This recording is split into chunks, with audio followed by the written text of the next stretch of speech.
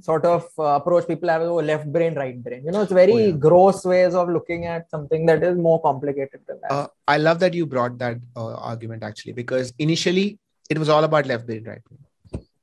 And then this whole movement swung to the other extreme, saying that there's no left brain, right brain. Yeah. It's all parts of the, like both sides of the brain does everything. Yeah. And now it's again swinging to the left brain, right brain, saying yeah. that yes, even though both parts of the brain are involved in language and both are, both parts of the brain are involved in uh, music and uh, cognition. Mm. there are still differences. Yeah. So you can't ignore that there are no differences. Yeah. So we realize that yes earlier we were over oversimplifying it. Mm. dividing people into oh you are a left brain person or oh, yeah. you're a right brain person which is obviously false.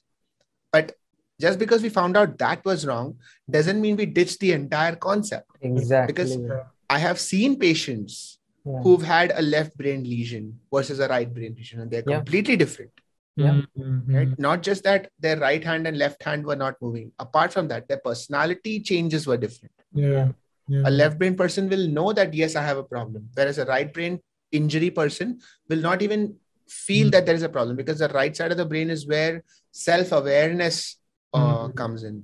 Yeah. A left brain person will know that, yes, I have a problem. Whereas a right brain injury person will not even feel mm that there is a problem because the right side of the brain is where self awareness uh, mm comes in.